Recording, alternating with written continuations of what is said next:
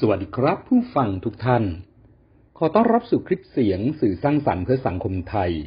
โดยอาจารย์หน่องนัทนายโลสุวรรณจากสถาบันพัฒนาศักยภาพการสื่อสาร WLDC พบกันเป็นประจำทุกวันกับถ้อยคำชวนคิด แนวทางการดำเนินชีวิต วันนี้เสนอเรื่อง ความสงบในใจ คือขุมพลังที่สร้างสรรค์ ผู้ฟังทุกๆทท่านครับ ความสงบในใจ เขาบอกว่า มีสิ่งหนึ่งในชีวิตของผู้คนบนโลกใบนี้ ที่ไม่ต้องใช้เงินตรา ไม่ต้องแสวงหา แต่สามารถสร้างสรรค์ได้ด้วยตัวของตัวเอง นั่นก็คือความสงบ สิ่งนี้แม้นฟังดูแสนง่าย แต่เมื่อจะต้องถึงคราปฏิบัติจริงกับกลายเป็นเรื่องยากสำหรับใครหลาย ๆ คน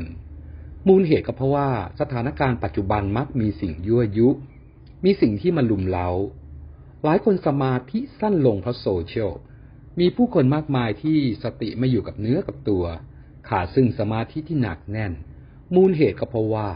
อุปกรณ์เครื่องมือสื่อสารต่างๆ นั้น มีเรื่องราวให้ค้นหาให้ติดตาม ให้เข้าไปมีส่วนร่วม และมีเรื่องราวให้ตื่นเต้นตลอดเวลารวมถึง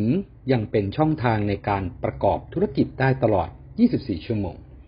ด้วยเหตุนี้ครับ จึงมีผู้คนมากมายที่ใช้ชีวิตหรือดำเนินชีวิต โดยปราศจากความสงบ จึงส่งผลต่อสุขภาพ บุคลิกภาพ และสัมพันธภาพ วิธีการสร้างความสงบในใจนั่นก็คือ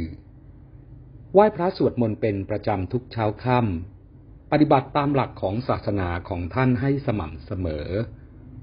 ควบคุมบริหารดูแลความรู้สึกอารมณ์จิตใจความคิด นั่งสมาธิเป็นประจำอย่างน้อยวันละสิบนาที บริหารเวลาอย่างน้อยหนึ่งชั่วโมงต่อวันให้อยู่กับตัวเองด้วยการอ่านหนังสือหรือบำเพ็ญเพียร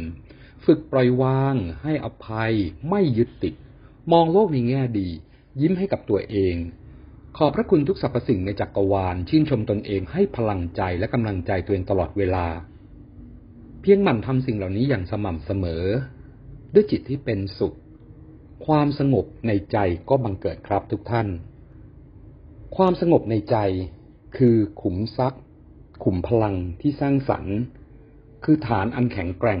ของชีวิต คือแหล่งผลิตแนวคิดที่งดงามของมนุษย์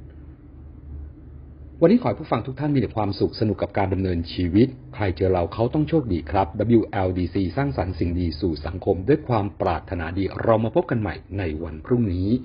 สำหรับวันนี้ สวัสดีผู้ฟังทุกๆทท่านครับ